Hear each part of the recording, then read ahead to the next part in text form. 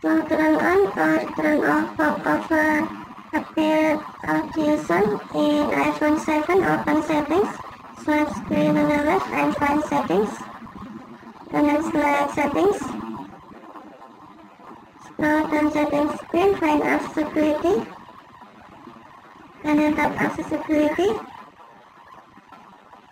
tap VoiceOver and then select audio tap songs scroll down sunscreen and then tap pop over appear to turn on.